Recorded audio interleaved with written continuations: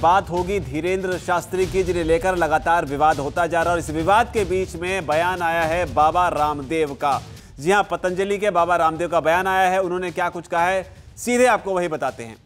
योग गुरु बाबा रामदेव ने कहा है कि कुछ पाखंडी लोग टूट के उनके पीछे पड़ गए हैं। ऐसे लोग पूछ रहे हैं कि ये भगवान की कृपा क्या होती है?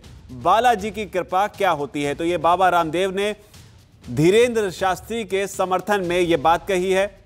और रामदेव ने ये बात कही है, जिस मौके पर वो मौका भी जानना ज़रूरी हो जाता है, उन्होंने कहा है, राम भद्राचार्य जी जो हैं, जो कि बताए जाते हैं कि धीरेन्द्र शास्त्री के गुरु हैं, उनके मंच पर खड़े होकर उन्होंने ताबड़तोड़ उन लोगों को जवाब देने की कोशिश की है, जो लगातार सवाल उठा रहे हैं, आचार्य धीरेन्द्र शास्त्री पर, उन पर आरोप लगा रहे हैं। उन्होंने आगे ये भी कहा कि ये सब अगर बिना आँखों के देखनी हो तो आप पूज्य भद्राचार्य जी को जी में उनमें देख लें। अगर आपको बाहर की आँखों से देखना हो तो आप धीरेन्द्र कृष्ण शास्त्री को देख लो। भगवान के अनुग्रह से व्यक्ति को सूक्ष्म जगत की अनुभूति होती है, लेकिन ये गुरु की कृपा और भगवत की कृपा से होता है।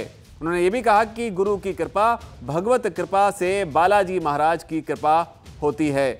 बाबा रामदेव यही नहीं रुके, उन्होंने समर्थन करते हुए आगे ये भी कहा कि जब गुरु और भगवान की शरण में रहने वाला और दैवी कृपा संपन्न जब कोई महापुरुष आशीर्वाद दे देता है तो व्यक्ति संकटों से मुक्त हो जाता है और यही काम धीरेन्द्र कृष्ण शास्त्री जी कर रहे हैं। आगे उन्होंने ये भी कहा कि जहाँ तक बात रही तर्क, वितर्क की, जिनको तर्क करना है, वो महाराज जी, यानी कि राम भद्राचार्य जी के पास आ जाएँ।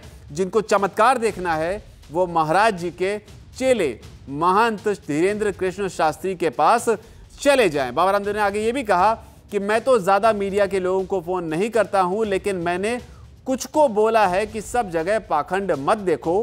कुछ ये भी देख लो कि जो सच है, जो दिख रहा है आँखों से, वो केवल एक प्रतिशत है।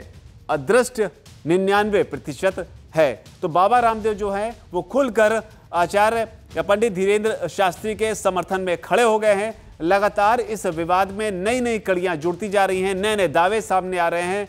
धीरेन्द्र शास्त्री का इसमें यह भी कहना है कि वो लोग उनके पीछे पड़े हुए हैं।